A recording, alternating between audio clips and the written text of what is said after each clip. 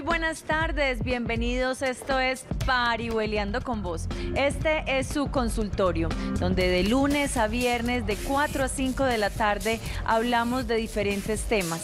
A veces son temas de ciudad, otras veces temas culturales, otras veces temas médicos, otras veces temas psicológicos. Y así vamos pasando por varios mensajes que queremos trascender por medio de nuestro canal Telemedellín, siempre con vos.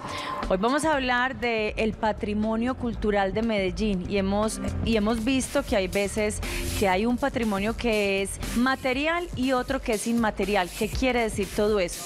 Un pequeño dato. Solamente en Medellín tenemos más de 550 esculturas que debemos conocer, debemos amar. A veces vamos a otros países o vemos documentales o vemos películas y decimos, ay, tan lindo Europa, qué belleza de edificios, qué construcción, qué, arquitectura. Pero aquí en Medellín teníamos un problema muy grande. Los edificios viejos, como los podemos decir, los teníamos que tumbar porque todo nos gustaba muy nuevo, muy bonito. La idea es que aprendamos a amar esos edificios viejos que cuentan una historia y esa es la historia que vamos a contar hoy en Parihueleando con vos. Andrés Felipe, muy buenas tardes, Parihueleando con vos. Natalia Moria, muy buenas tardes, Parihueleando con vos, con los televidentes que todas las tardes nos acompañan. Qué rico que estén ahí, que siempre estén presentes en estos temas, en este consultorio que tenemos, no solamente de temas médicos, cuando hablamos de salud, salud mental, de temas jurídicos, también de temas de ciudad. Y hoy uno de esos temas de ciudad que nos hace entender la ciudad, entender sobre el pasado, proyectar hacia el futuro, pero sobre todo aferrarnos, querer mucho más y valorar lo que tenemos.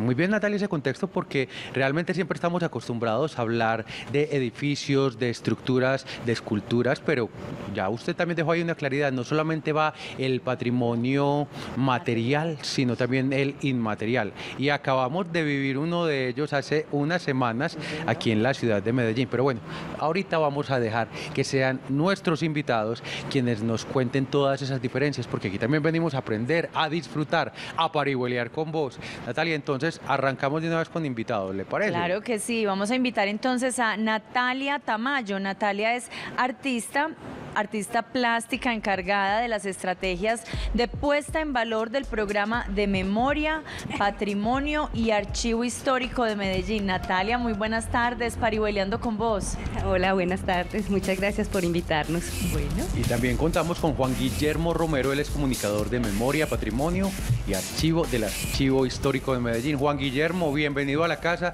porque aquí lo hemos visto varias veces, delante y detrás de cámaras. Parihueleando con vos, Juan Guillermo. Muchas gracias, Andrés. Eh, por la invitación. Bueno. Natalia, ¿qué es el programa de memoria, patrimonio y archivo histórico de Medellín? Es el programa que pertenece a la Secretaría de Cultura Ciudadana eh, y su principal papel es buscar eh, la apropiación por parte de los ciudadanos del patrimonio cultural de la ciudad. Eh, básicamente tenemos tres líneas de trabajo. Una es con el patrimonio documental que lo trabajamos con el Archivo Histórico de Medellín. El otro es conservación y mantenimiento del, del patrimonio inmueble que pertenece a la alcaldía y el otro es el de puesta en valor del patrimonio. ha mencionado mucho la palabra, perdón Natalia, dígame. Sí, no, que nos fuéramos despacio. Yo ya me imaginé que usted iba a decir como de coquito y despacito. ¿Cuánto tiempo llevan trabajando en el proyecto? Y que nos explique primero como ese archivo documental. Si quieren, no lo, lo expones tú, Juan. Sí, Natalia, el archivo histórico pues cumple una función esencial y a veces tenemos un imaginario muy equivocado porque creemos que todo ese acervo de documentos que hay allí solo resulta apto para investigadores, para historiadores, pero resulta que allí hay una serie de documentos que cuentan de otra manera de dónde venimos, ¿cierto? Incluso en el archivo histórico hay un fondo que se llama el Fondo Colonial que fue reconocido por la UNESCO, de la época de la colonia precisamente y están allí perfectamente conservados. Pero también, por ejemplo, hace unos años donaron los libretos del radioperiódico Clarín que era un noticiero radial sumamente divertido por la manera como contaban las noticias, por los mensajes que pasaban al final, donde había anuncios como que se robaron una olla a presión o saludes a yo no sé quién en el pueblo. Y tenía efectos, tenía efectos como eh, empezaban a, sonar con las, con las mesas, con todo, entonces lo hacía muy, muy charro, ¿se recuerda eso? Entonces esos libretos, Natalia, están allí perfectamente conservados para que los historiadores lo puedan consultar pero en eso que decía nuestra Natalia, eh, lo que se hizo fue un trabajo de apropiación, entonces se dramatizaron, ya van como 60 noticias dramatizadas, las tenemos en un dispositivo que viaja por la ciudad, los parques, biblioteca y demás, y entonces todo el mundo puede escuchar las recreaciones de esas noticias y de una manera bastante divertida enterarse de lo que pasaba entre 1959 y 1988 aquí en Medellín. Bueno, un momentico que Natalia, es que aquí era donde iba, antes de que andáramos en ese tema, es que escuchamos la palabra patrimonio varias veces y es el mes del patrimonio. Yo sí quisiera que desglosáramos, como usted dijo, de coquito, eso de patrimonio, porque entonces entramos a decir, ah, bueno, es que un documento también es patrimonio. Eh, ya habíamos dicho también en, la introducción del programa, no solamente de pronto obras arquitectónicas, no solamente también obras de arte o esculturas. Entonces, realmente qué es el patrimonio y ustedes cómo empiezan a hacer esa a catalogarlo, a qué corresponde, qué se puede tocar, qué no se puede tocar del patrimonio y qué sigue siendo patrimonio. Entonces, ahí como dicen por ahí, despáchese pues Natalia. bueno, eh, a ver, patrimonio, digamos que oficialmente eh, eh, él puede ser dividido en patrimonio material e inmaterial como la palabra lo indica, el material pues tiene que ver con algo tangible, algo que tú puedes tocar, algo que tiene peso, que tú puedes ver. ¿cierto? Eh, que, es un edificio eh, o una escultura. un edificio o una escultura. El inmaterial, pues no tiene, no es algo que tú veas, sino que digamos que habla más sobre un conjunto de saberes, de conocimientos, de prácticas. Digamos, como lo mencionaste al inicio del programa, la manifestación cultural silletera, todo lo que hay alrededor de la cultura campesina es un patrimonio inmaterial, que se traduce después en uno eh, formal a través de una silleta, pero digamos todo lo que sucede alrededor de ella es lo que llamamos patrimonio inmaterial. Ahora, eh, patrimonio, o sea, es igual como cuando uno tiene una casa y uno o un carro y unos bienes, digamos que son riquezas que uno tiene, materiales, eh, monetarias, pero esa riqueza no tendría sentido si tú no tienes otra riqueza que la acompaña, que es lo que es la riqueza patrimonial, cultural, los bienes, los saberes, las prácticas artísticas, eh, como cocinas una arepa eh, cómo son los productos eh, que hacen parte de nuestra culinaria tradicional. O sea, todo eso son nuestras riquezas patrimoniales y van, pues, es innumerable, digamos, y todos los días sin darnos cuenta tenemos que ver con el patrimonio cultural de una u otra manera. Pero entonces, para que nos quede más claro, el inmaterial, el patrimonio inmaterial, tenemos, por ejemplo, la cultura silletera, pero ¿cuáles otros ya son patrimonios inmateriales? Eh, digamos, la gastronomía tradicional de un territorio es un patrimonio inmaterial, la forma como tú preparas. ¿quién da, o sea, ¿quién dice esto se vuelve patrimonio? Bueno, hay, una premiación, hay, Claro, sí, hay una, digamos que unos lineamientos, unos parámetros que cada país va eh, delimitando para que una manifestación o una práctica eh, obtenga ese título, ¿cierto? Digamos nosotros, el Ministerio de Cultura tiene unas políticas frente a las cuales eh, si nosotros queremos declarar como patrimonio inmaterial de, de Colombia algo que nosotros hacemos, con lo cual nosotros decimos esto es hermoso, vivimos con él, nos identificamos. Hay unos parámetros que hay que seguir. Se llaman planes especiales de salvaguarda, planes especiales de mantenimiento. Pues depende del tipo de, patrimonio, hay unos parámetros establecidos. Por ejemplo, la música también termina siendo patrimonio de un territorio, ¿cierto? Y a veces eh, recurrimos a esas canciones que uno dice desde pequeñito las estoy oyendo ¿cierto? Lo curioso es que nadie nos la enseñó. Eso es una buena pista para entender qué es el patrimonio, por ejemplo, en el caso de la música. Eso que todos no sabemos y sin embargo nadie nos lo enseñó. Eso es una, una manera de entender cómo el patrimonio está es ahí flotando entre nosotros, acompañándonos en esta construcción colectiva de la historia y entonces se vuelve parte de nuestra memoria. A las Natalias y a Juan Guillermo, yo creo que el inmaterial nos quedó como un poquito más en claro. Ya de pronto uno sí se va acercando como a esos conceptos, pero bueno, incluso el material no es que no haya claridad, sino que uno dice, bueno, si están ahí, ¿qué es lo que nos permite hacer memoria? ¿Qué es lo que nos permite visualizar de la cultura como tal?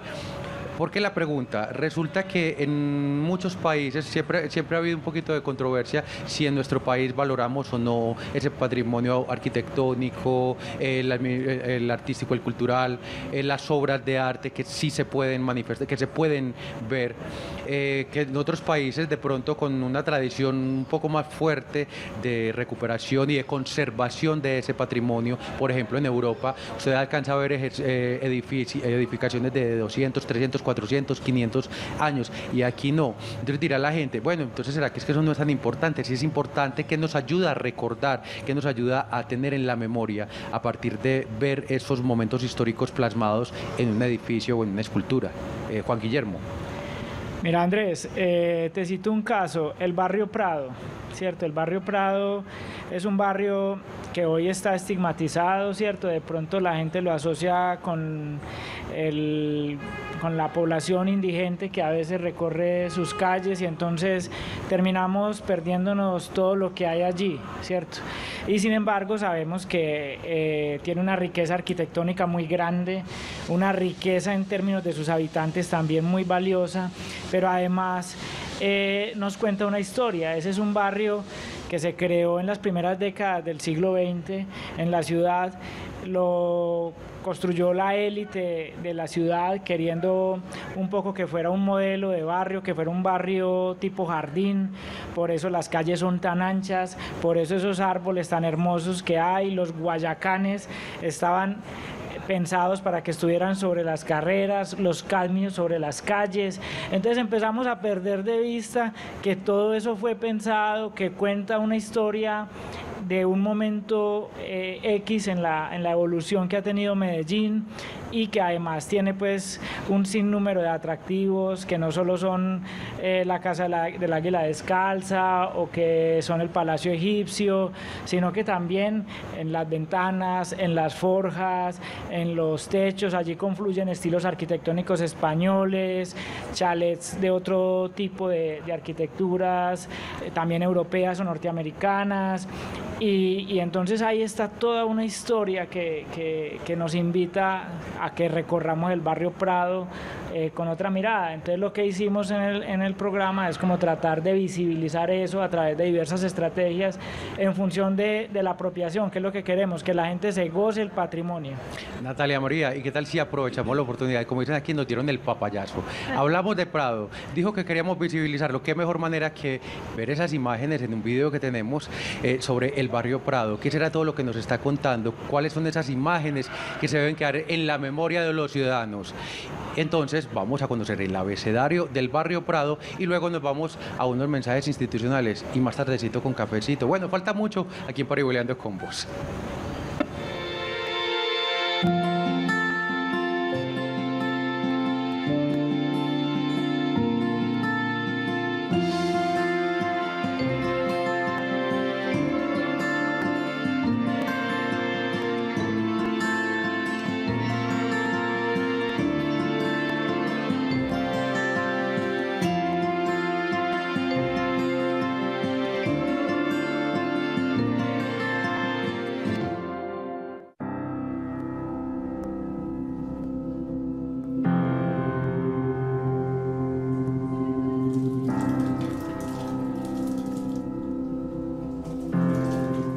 Los baños hondos llegábamos armados con barcos de plástico, soldados de la Segunda Guerra Mundial, careta de buceo y aletas.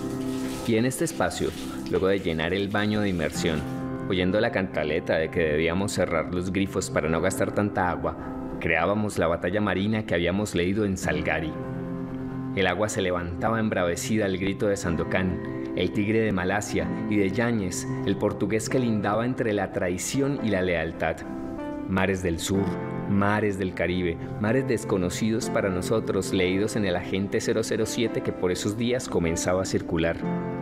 La batalla naval se terminaba cuando alguno de nosotros se daba un golpe contra una de las paredes del baño y nosotros tratábamos de calmarlo para que no siguiera gritando y aparecieran por allí sirvientas y mamá y le echábamos agua encima para que el chichón no se viera tan grande.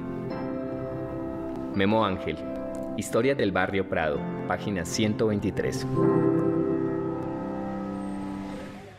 Prado, un barrio para refrescar la imaginación.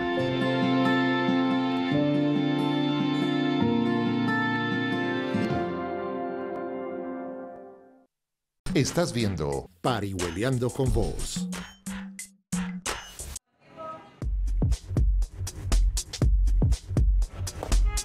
Y continuamos parihueleando con vos y acabamos de ver antes de los mensajes institucionales un pequeño video eh, sobre un lugar en Prado y una casi que poesía de Memo Ángel.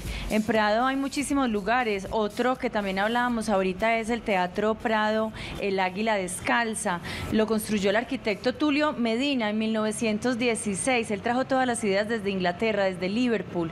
Entonces de esto nos va a seguir hablando Juan Guillermo. ¿Cuál es esa magia? que hay en Prado y por qué tenemos que volver a, ir a Prado, recorrerlo, tomarlo fotos, sentarnos a tomar el tintico en las cafeterías por ahí, a comer las empanadas con las señoras y a reconstruir no solamente el pasado, sino vivir el presente y mirar los colores de Prado. Mira, eh, Prado tiene una riqueza invaluable en muchos aspectos. El video que veíamos, por ejemplo, alude a los baños de inmersión ¿cierto? Unos lugares que cada vez están desapareciendo. Yo creo que ya ningún apartamento hoy está pensado para tener un baño de inmersión, ¿cierto? Con esas escalas, con esa amplitud. Es que era como un spa. Era exactamente. Ahí sí te sonó, ¿no? y hoy por hoy, tristemente, los pocos que quedaban hace unos años los taponaron o construyeron una habitación y demás. Entonces, mantener activa la memoria nos hace entender lo valioso que es ese tipo de estructuras y cuando las hay hay que tratar de visibilizarlas, que las nuevas generaciones vayan y entiendan que había otro ritmo de vida en la ciudad, que había otras dinámicas, que había otros lugares, que había otros espacios con esa belleza además estética. Bueno, aquí hay algo que queremos también eh, dejar en claro y es que hay un diccionario, el diccionario de la A la Z del barrio Prado, pero esto es una de las estrategias, esto corresponde a la visibilización, entonces quiero que toquemos esos dos temas. ¿Por qué hay que visibilizar y cómo piensan ustedes? Bueno, es que para visibilizar, por ejemplo, el barrio Prado y para que lo conozcan, no podría ser de pronto en una sola publicación, sino una estrategia que tiene tantas fases o tantos elementos, tantos componentes como, como un diccionario de la a la Z, pero asimismo existirán muchas otras para visibilizar. ¿Qué es lo que se está haciendo para visibilizar el patrimonio de la ciudad de Medellín? Mira, eh, lo que nosotros queremos es conectar emocional e intelectualmente a los habitantes de la ciudad con los valores que tienen los patrimonios. El valor eh, intelectual, el valor histórico, el valor estético, el valor educativo.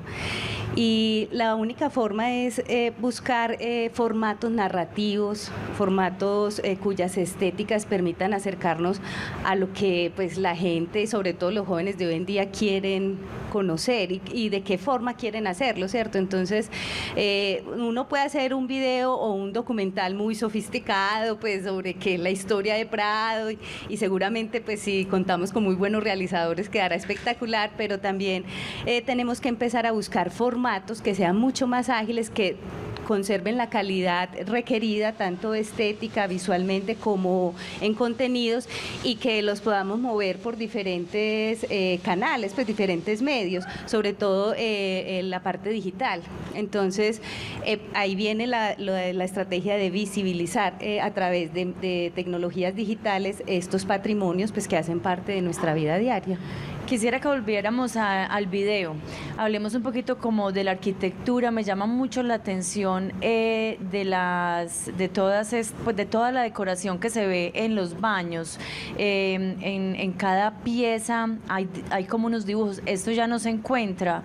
Eh, por lo menos sabemos, Natalia, que en Prado es donde todavía hay más, ¿cierto? Entonces, eso es lo que queremos llamar la atención, ¿cierto? hay otros lugares en la la ciudad que también tienen pequeños mojones que cuentan un momento de la historia, ¿cierto? Eh, el barrio Boston lo tiene, ¿cierto? Hay pedazos eh, o áreas de este barrio que todavía te da, te da cuenta, a lo mejor no con esa grandilocuencia de las mansiones del barrio Prado, que sí pertenecían a la clase alta, ¿cierto? Pero, por ejemplo, también en Belén, en la 78, hay unas casas que son antiguas, de mediados de siglo, ¿cierto? Y eh, ahí entra también a jugar un papel muy importante la oficina de planeación, que hace una valoración con expertos en, en la materia, en temas de arquitectura, y determina cuáles bienes son de interés eh, patrimonial y sobre ellos genera como estrategias para que, por ejemplo, no los puedan tumbar, no se pueda construir encima de ellos, los preserven, ¿cierto? Y ahí empieza como ese juego entre ciudadanía y Estado por preservar el patrimonio. ¿Cómo empieza a ver uno como ciudadano, como esa diferencia, o sea, las baldosas, la construcción, los arcos, cómo empieza a ver uno, es con ustedes que empieza uno a entender si es renacentista, si es de otra, si es barroco, o sea, esa parte arquitectónica uno como lo empieza como ciudadana cualquiera a reconocer en la ciudad, en Medellín. Natalia, uno eh, solo le queda admirar ese tipo de, de estructuras y darse cuenta lo artesanal que era, el tiempo que se le dedicaba a eso, la especificidad de esos oficios.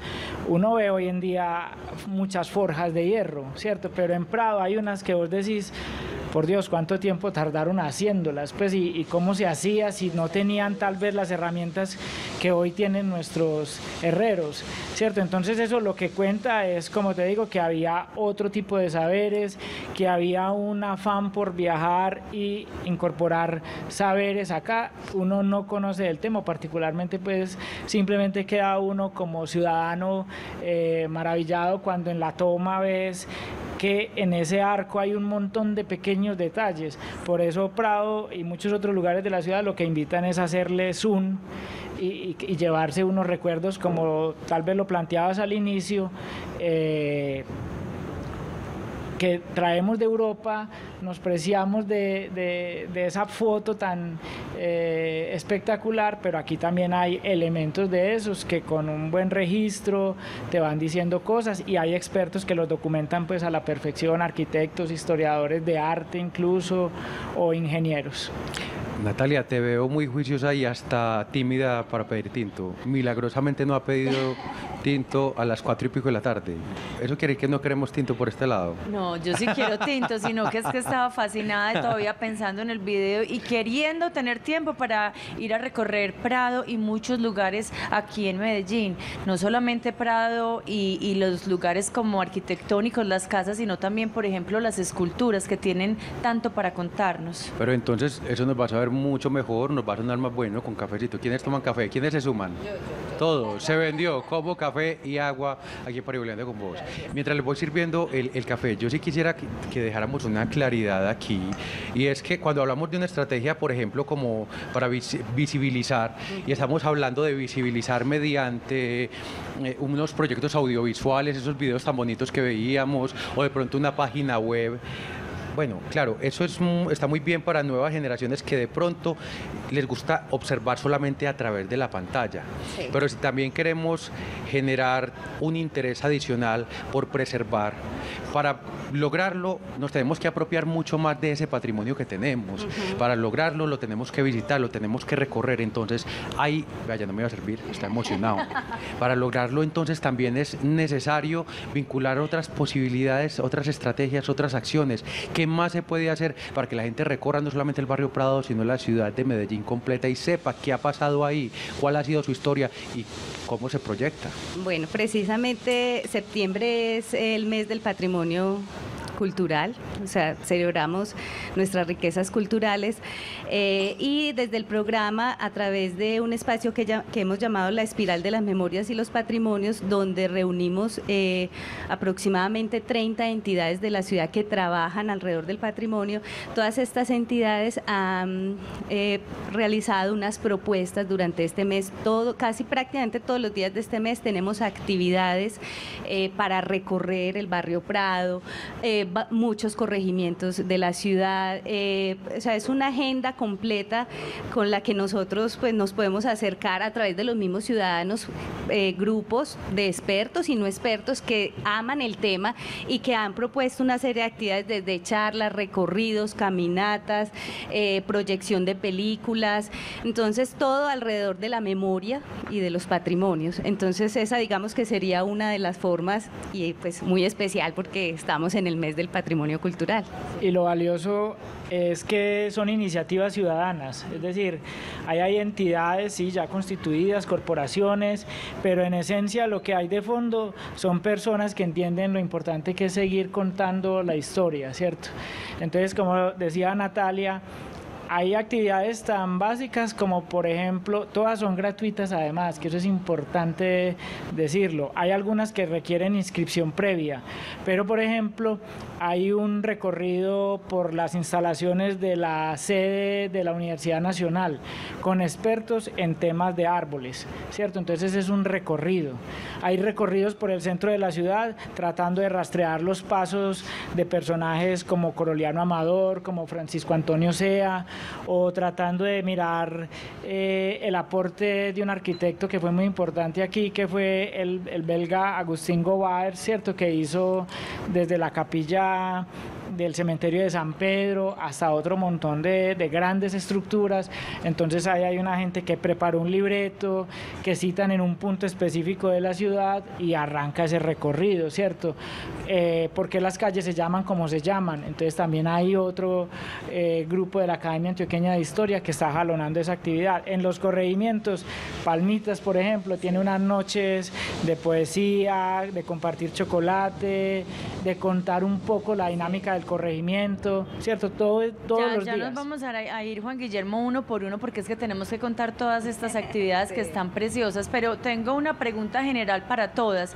Eh, información, por ejemplo, si hay personas con alguna discapacidad, tenemos muchos amigos eh, adultos mayores, entonces esos recorridos, ¿cuánto, eh, cuánto duran? Si pueden ir, esos teléfonos vamos a ponerlos todos al final para que ustedes tengan en cuenta, cada actividad es diferente y tendrá indicaciones diferentes. Entonces, al final, ustedes ya pueden llamar y preguntar muy bien para ver si pueden ir en silla de ruedas y cuestiones, pues, de esta manera. Pero entonces nos vamos a ir después del corte, vamos a empezar a ver eh, una por una. ¿Le parece a usted, Andrés? Me parece, mejor dicho, está muy juiciosa Natalia. Pero te lo voy a hacer propuesta. Entonces, ya quedó planteado lo que usted dijo. Para el segmento final vamos a dar esos números. Ustedes preparen papel y lápiz, que Natalia muy juiciosa ya los preparó para que sepan cuáles son todas esas actividades que tienen pendientes. Entonces, eso ahí nos queda claro.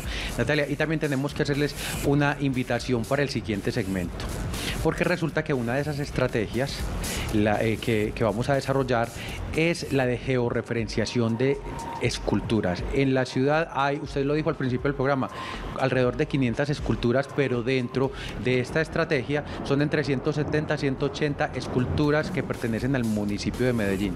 Vamos a ahondar sobre eso en el siguiente segmento. Pero ¿qué tal Natalia si les vamos dando ahí como un regalito a los televidentes de Parihueleando con vos?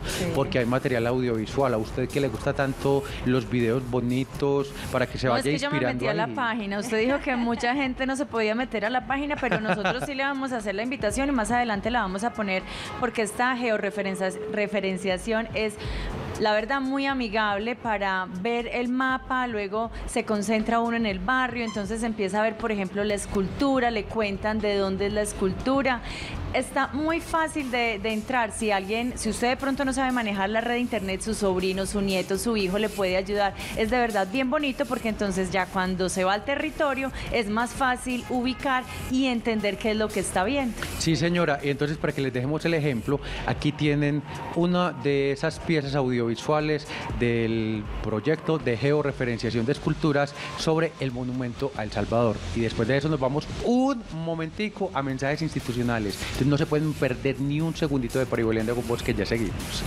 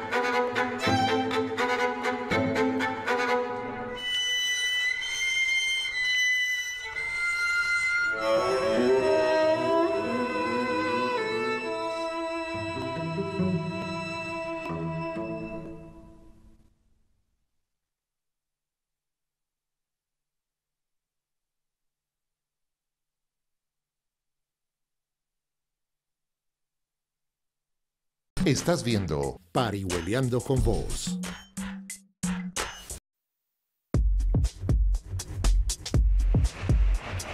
Y seguimos parihueleando con vos, disfrutando de cafecito y esperamos que ustedes también estén aprovechando allá en esta tarde para que nos acompañen con un café, con agüita, con aromática, con lo que quieran, pero con lo que tengan a la mano que no se despeguen de los televisores.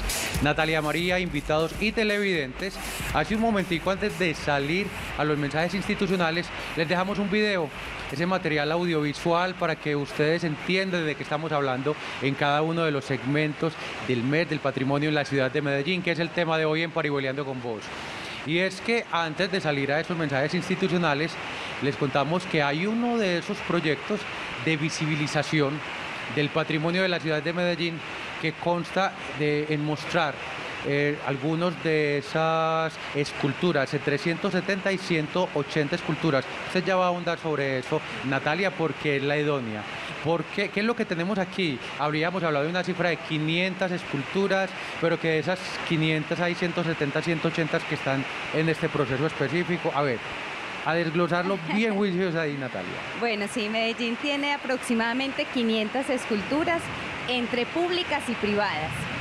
Eh, de esas 500, aproximadamente 176, 183 son eh, públicas, es decir, pertenecen al municipio de Medellín, están a cargo del municipio, es el municipio quien debe darles conservación, mantenimiento y darlas a conocer a la ciudad.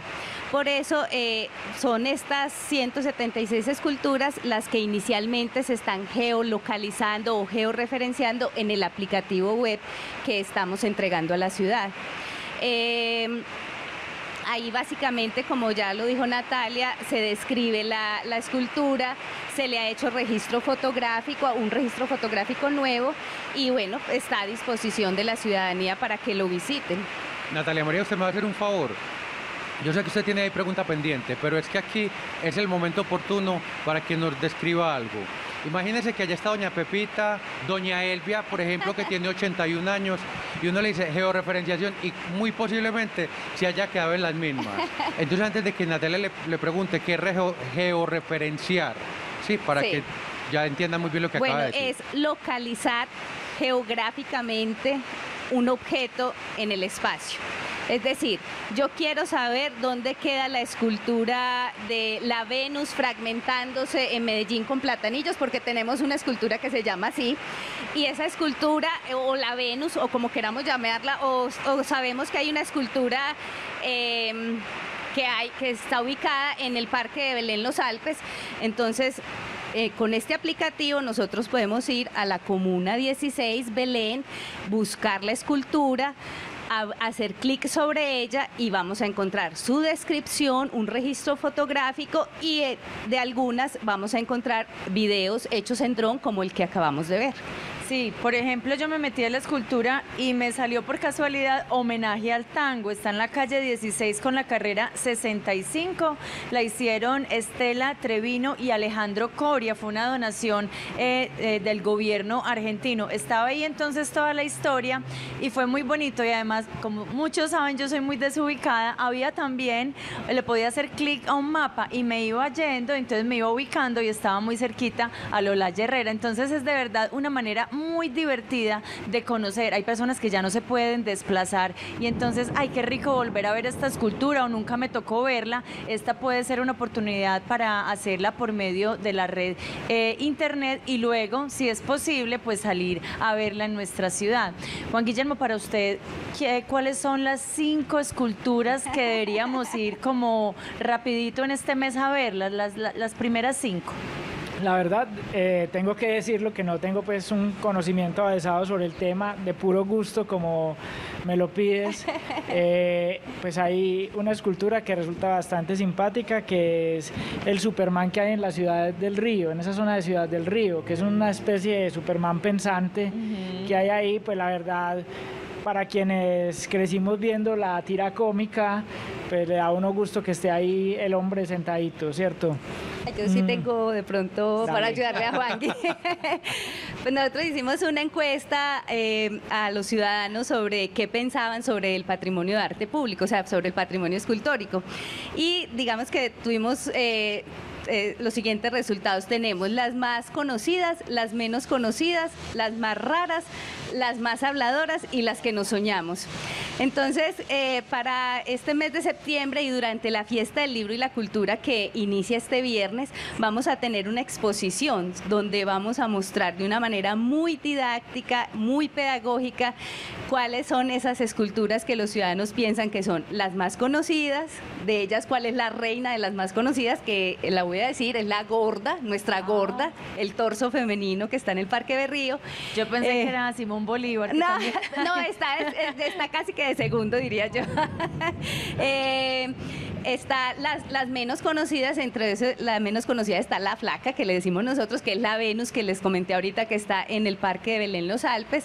Entre las más raras está una que es una esfera gigante, que está en el cruce entre Ayacucho y Junín, que está sobre el piso, o sea, es una escultura muy diferente a todas, porque casi todas las esculturas tienen un pedestal y tú las miras hacia arriba, en cambio esta está a tu alcance.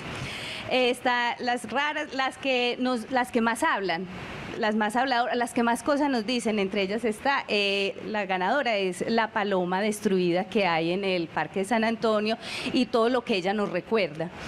Y las que nos soñamos está la eh, escultura a la arepa y a la empanada, que no existe, pero que, No que, nos- que no la soñamos porque son las, las comidas con las que nosotros tenemos un gran afecto y quisiéramos que ellas fueran homenajeadas. Natalia, la verdad es que sí estamos esperando que la gente visite el lugar donde vamos a estar situados en la fiesta del libro, que va a ser cerca ahí en el jardín botánico, cerca pues como al restaurante famoso del, del lugar in situ, eh, porque hay una propuesta divertida, pues por ejemplo alrededor del, del, del pájaro, que sabemos que nos recuerda un momento tan trágico en en la historia de esta ciudad y, entonces hay una alusión justamente para que la gente un poco sienta, o sea, para que las esculturas no sea solamente de ver, sino de entender la historia que hay detrás, que todas las tienen, ¿cierto? Por ejemplo, sabemos que hay Bolívar que está parado, pero también hay Bolívar que está a caballo, pero también hay estatuas que son solamente el busto y todo eso tiene una lectura histórica que se hace, ¿cierto? Que de pronto fueron para celebrar el centenario de la independencia, entonces por eso datan de 1919, ¿cierto? O sea, por ahí está como eh, el momento en el que las pusieron para conmemorar ese, hito histórico. Entonces todas nos dicen algo y lo, lo valioso es que empecemos como a rastrear qué nos dicen, más allá de que nos gustan o no, de que podamos discrepar con ellas, porque siempre hay alguien que dice cómo quedaron de feas, ¿cierto? Hasta la de Cristiano Ronaldo tuvo su objetor más grande en él, que es cierto, la, la cuestionó y no dejó que, que hicieran la estatua, pues no estamos hablando del, del hombre más pensante tal vez del, del planeta, pero, pero sí una figura bien representativa que tiene su estatua en vida. Es que ellas son de metal, de bronce, o sea, ellas son estáticas, pero realmente están vivas. Están vivas es por todo lo que nosotros somos capaces de hacer alrededor de ellas. Y por lo que nos están removiendo. Exactamente. Sí, porque era lo que estaba diciendo desde el principio, no solamente se trata de tocar la parte intelectual, sino también desde la emotividad, desde lo emocional a los ciudadanos. Esto creo que ha sido eh, fundamental en las estrategias que están man- manejando.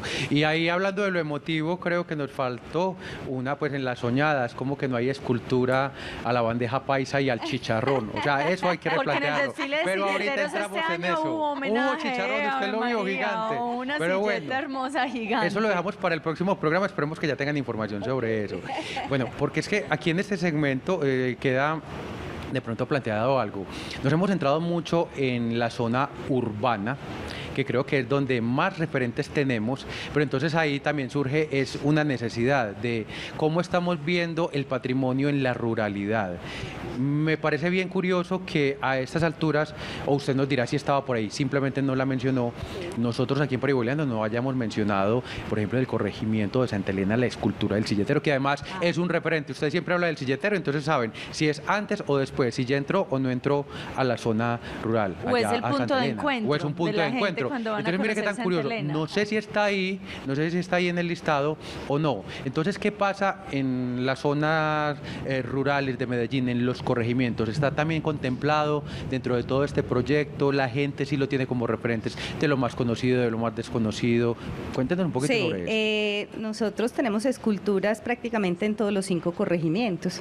Incluso en Santa Elena no solamente está el homenaje a los silleteros, también está eh, la eterna primavera, está eh, el flautista de media luna, un tótem que hay de madera en el Parque Arví. Bueno, hay varias esculturas, lo mismo en San Cristóbal. En San Cristóbal incluso está el homenaje al arriero, que es una de las más reconocidas o una de las cuales con las que los ciudadanos más se identifican en cuanto a tradición, eh, pues los arrieros.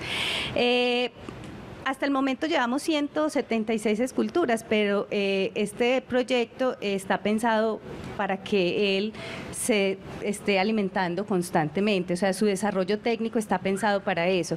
No solamente vamos a tener georreferenciado las esculturas, sino que en este momento incluso también tenemos algunos bienes arquitectónicos de la Candelaria y, en- y dentro de estos del barrio Prado, y también tenemos unas rutas patrimoniales. Tenemos seis, pero ojalá que sean muchas más a futuro. Y vamos a completarlo, ojalá que muy pronto podamos decir, no es que en Medellín tenemos de referenciar las 500, ta- nunca decimos el número exacto porque es que en la ciudad De van, pronto aparece surgen, otra. no, El chicharrón escondido que estamos esperando. Y cada momentico aparecen unas que no están en el inventario porque realmente es que eso está constantemente moviéndose, quien lo creyera, hay mucha gente interesada en, en, pues no sé, en, en tener hitos eh, de lo que es valioso para ellos en el espacio público. Además, hay que también acotar que, por ejemplo, en los corregimientos hay otras expresiones que también hacen parte del patrimonio, como los caminos prehispánicos, ¿cierto? En Altavista hay un camino prehispánico, en la zona de Santa Elena, en la zona de Palmas también hay... eh, San Sebastián de Palmitas, hay también un camino que nos cuenta buena parte de cómo fue que llegamos aquí. Sí, eh, por- caminos por que cuenta- tienen trayectos que han sido restaurados eh, por el, el programa para que la gente conozca cómo era la construcción de esos caminos antiguos. Bueno, ya después de corte nos vamos a ir a ver todas las actividades que ustedes tienen, pero a mí me dejó algo pensando, algo pendiente desde el primer bloque y es la puesta en valor que ustedes hacen desde, desde su programa. ¿Cómo se le pone valor a, a un edificio, a una escultura? ¿Cómo, es ese trabajo que ustedes hacen? Más allá de lo físico de un edificio o de una escultura, la- poner en valor eso es eh, crear un- eh, alrededor de él una serie de actividades, proyectos, de narrativas que, que hacen que la ciudadanía se acerque a ellos, se inquiete, se sorprenda, los vuelva a ver porque incluso se vuelven parte del paisaje y, y la gente se dice, ay, pero es que esa escultura estaba ahí, sí, lleva más de 25 años, 30 años y no se, pues no, no, no se habían percatado de que estaban ahí. Entonces ponerlas en valor es hacer cosas alrededor de ella que uno que, que te las vuelva a traer a- al presente y diga, hace parte de mi pasado, pero está aquí en este momento y, va a ser parte del futuro. Y justamente la agenda de la que hablas es eso, ¿cierto? Son apuestas eh, por poner en valor el patrimonio de todos los tipos de parte de estas organizaciones, articuladas un poco en un espacio de convergencia que el programa proporciona. Estamos parihueleando con vos, estamos hablando del mes del patrimonio, estamos hablando con Juan Guillermo Romero, comunicador de memoria, patrimonio y archivo histórico de Medellín y también con Natalia Tamayo, quien pertenece también a este programa. Estamos parihueleando con vos y ya volvemos después de este corte de mensajes institucionales. Estás viendo Parihueleando con Vos.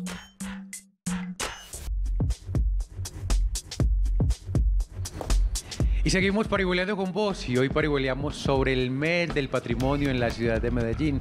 En septiembre podemos disfrutar de muchas, muchas actividades para conocer si no conocemos nuestro patrimonio, de pronto para reconocerlo si hace mucho tiempo no estamos en contacto con algunas de esas estructuras, esculturas, lugares o simplemente información, porque ya sabemos que sabemos y sí lo podemos decir así, es correcto, porque ya lo mencionamos en Parihueleando con vos y estuvieron muy juiciosos Entonces ya sí sabemos que hay diferente patrimonio.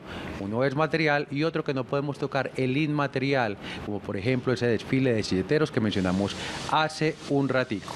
Entonces, muy juiciosos, les dijimos también desde el inicio del programa, tengan papel y lápiz y si no, pues al final les vamos a dar unos números de contacto para que averigüen más, aprovechen esta oportunidad que tienen hoy con nuestros invitados de Parihueleando con Vos. A ver, como decimos, despáchense con la agenda y cuenten, inviten, motiven, enamoren. Andrés, yo le propongo que nos vamos despachando, pero como en orden. Yo quiero que empecemos a ver las personas de Laureles, Santa Teresita, el 5 de septiembre a las 10 de la mañana tienen un encuentro. Háblenos de ese encuentro.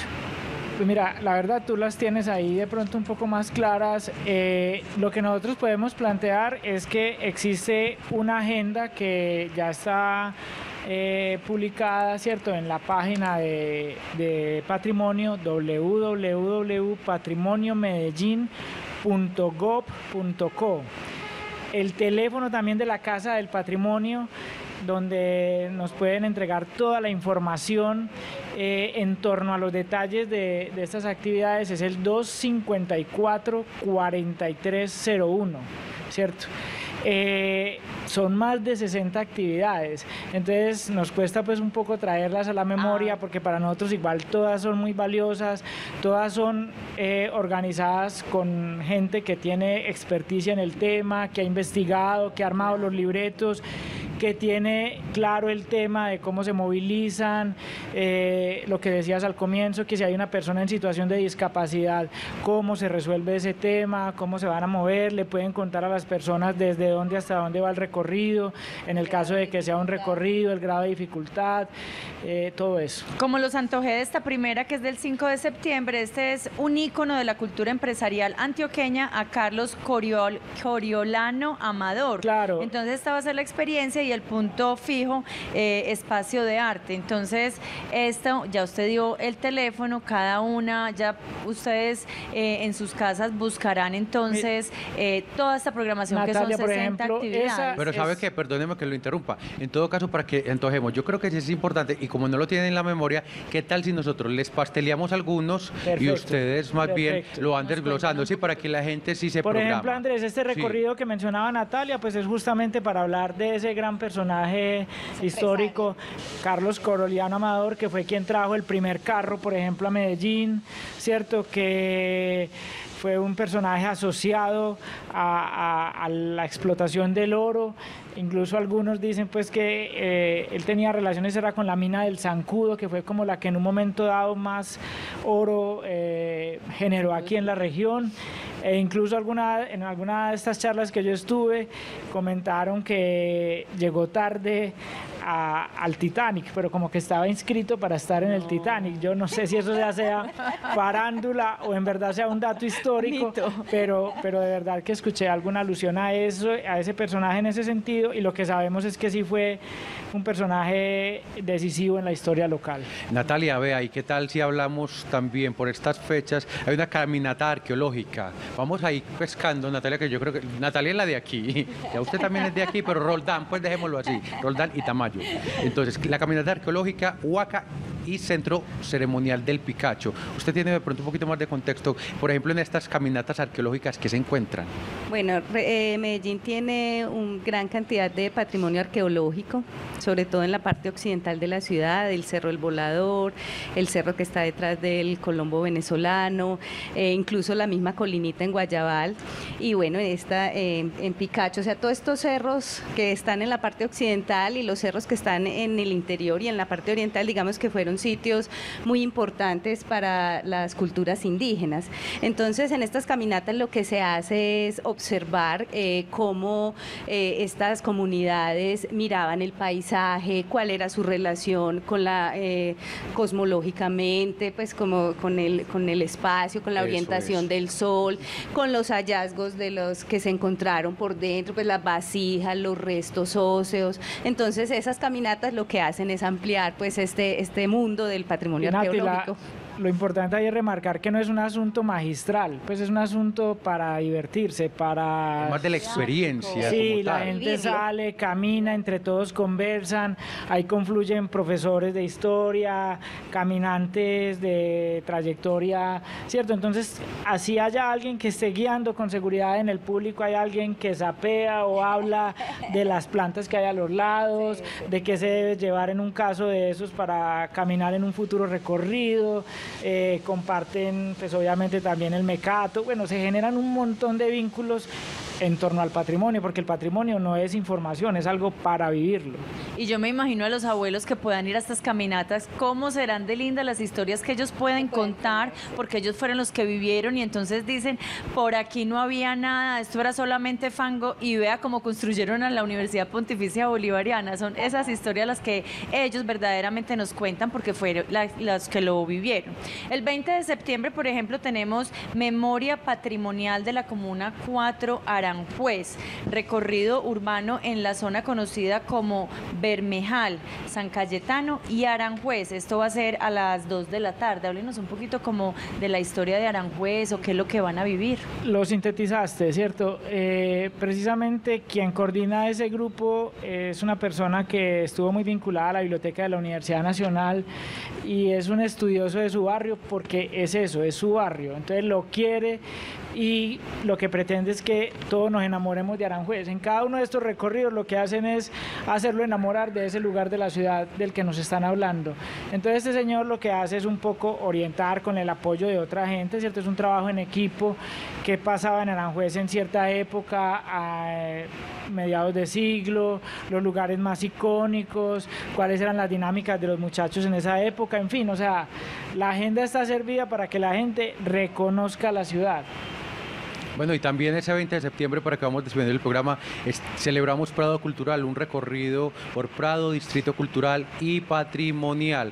Toda esta información que ustedes están viendo, toda la agenda, la pueden disfrutar en los números telefónicos. Si de pronto tienen mayor información o ingresan a la página que también aparece en este momento en la pantalla de Pariboleando con vos. Natalia, porque como todo lo bueno, cuando estamos pasando más rico en Pariboleando, empieza a sonar la, la música en dos en uno, en cero. Mejor dicho, ya nos toca despedirnos. Pero no antes sin agradecerles a nuestros invitados, a Natalia, a Juan Guillermo. Qué rico que compartan todas estas experiencias bonitas de nuestra ciudad. Y Natalia, pues bueno, nosotros por hoy, por hoy, no fue más. Entonces despedimos el programa y mañana seguimos pariboleando con vos, ¿te parece?